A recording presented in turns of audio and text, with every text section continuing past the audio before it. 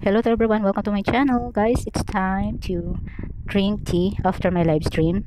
So to those who always come to my live stream, thank you all so much guys. I will not mention all of you but only those person I remembered that came to my live stream today. Uh, Sarita Japan, thank you so much. Il Gamesin, thank you so much. Papang Narciso, thank you so much. Sisi Koy Axela, thank you so much. Sisi Koy Joy Portillo, thank you so much. Mr. One Vlog, thank you so much. Sir Mike Kabatang Vlog, thank you so much.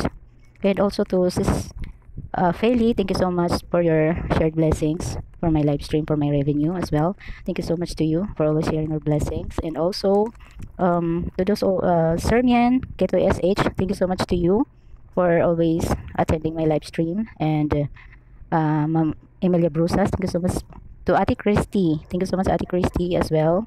And yeah, to all those who always support my videos. Thank you so much, guys. So it's about time to drink my tea. So I will leave this for a while, like five minutes. I will soak this tea, tea bag in this hot water, fresh hot water, boiled water. And just my tea. I don't have bread. Just a tea will do. So this is it guys, my tea, chamomile tea.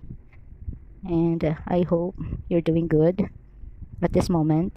And see you all again guys next time on my live stream and my upload videos as well. Thank you guys and bye bye for now. Guys, let's drink tea, chamomile tea. After my live stream, I drink chamomile tea.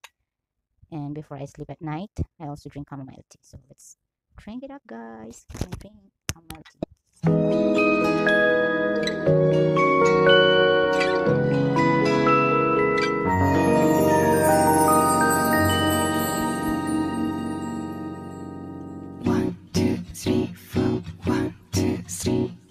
너 그래 너 요새 너 조금 이상해졌어. 자꾸만 시도 때도 없이 시무룩하고 고민이 생겼니?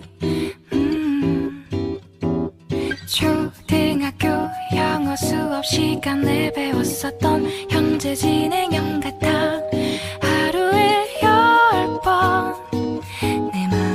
지겨